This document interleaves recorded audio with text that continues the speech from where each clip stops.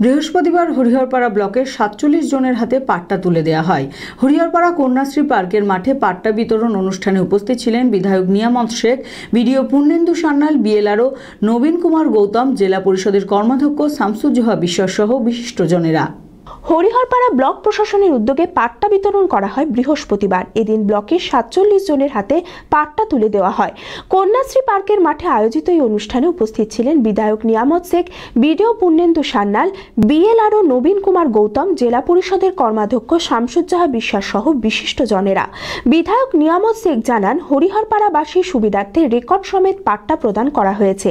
এদিন মোট সাতচল্লিশ জনের হাতে পাট্টা তুলে দেওয়া হয়। হরিহরপাড়া থেকে রাকিবুল ইসলামের report TV twenty four Bangla. আপনারা দেখছেন TV twenty four Bangla. TV twenty বাংলার সমস্ত খবরের আপডেট পেতে ইউটিউবে সাবস্ক্রাইব করুন টিভি টোয়েন্টি ফোর বাংলা চ্যানেলটিকে এবং সাবস্ক্রাইবের পর অবশ্যই বেল আইকনটি একবার ক্লিক করুন। কমেন্টস আর শেয়ার করতে ভুলবেন না। TV twenty four Bangla.